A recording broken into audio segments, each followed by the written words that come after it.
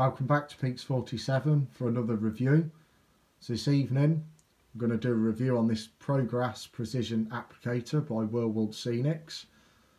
So it takes a 9 volt battery like the other applicators. This is what charges it, this box, and then off a lead is your hopper end, which as you can see is really, really small, which is ideal to get into the awkward places that you can't get in with your regular applicator. So the top just pulls off. Fill your hopper. I usually fill it about halfway and it's designed for two and four mil grasses. So once you've got your grass in, click your top back on. You've got your positive clip that you're used to seeing. And then with the button on the side, just switch it on. So you also get in the little kit that they do, I think it's about 60 quid, you get a couple of little bags of two and four mil. I think this is this one's muddy, and this one might be the summer. And a little pot of basing glue as well, so you're good to go to try it out. So I'm going to load the hopper up. I'm probably going to use some 2 mil patchy, which is what I'm looking at doing on, on the next part of the layout. So I'm going to load it with some of that put some basing glue down and try it out. So just before we move on to trying the applicator out, just wanted to show you it against the micro so you can see the size difference is quite a lot different so that's how more precise you can be with this product against the micro which is great for just your general flocking in your big areas obviously this has got a purpose of its own just for getting those tiny little areas.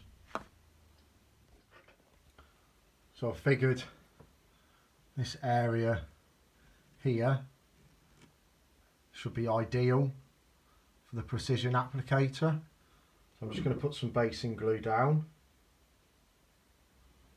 And then I think I'm going to apply some 4mm dead because I can't imagine anything in between the rails is going to be too happy.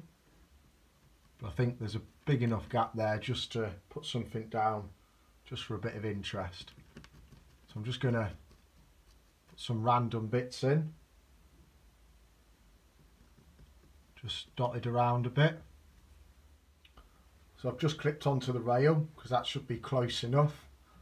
Remembering this is positive charge. It's not on the rail to create a ground. It's purely the positive charge as close to the end of the hopper as you can get. So I've got some 4 mil dead in here now. I'm just going to sprinkle it over the glue. Needs quite a bit of a tap to get this out. It doesn't shake out like the micro so I find just tapping the side of the hopper seems to work. As you can see that's starting to look quite effective. I've just loaded the hopper now with some 2mm summer leaf and I'm just going to try and give it the tiniest amount over the top just to brighten it up a little bit.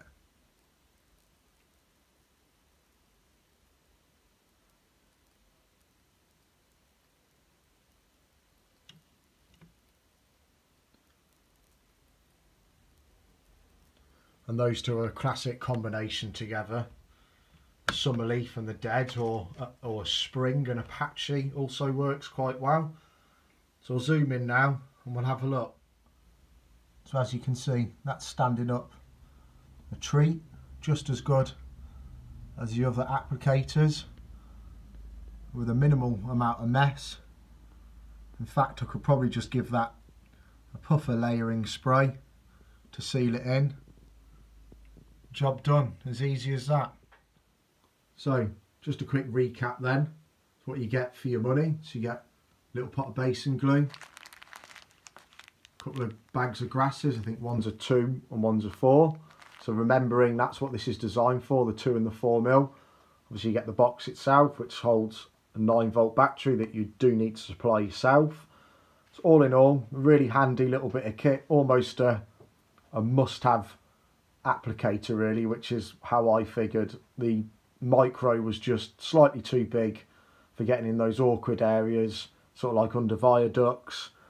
Perhaps if you're doing some old sidings, this is just ideal for that. So yeah, really impressed with it. I'm sure I'll be doing more examples with it on future videos.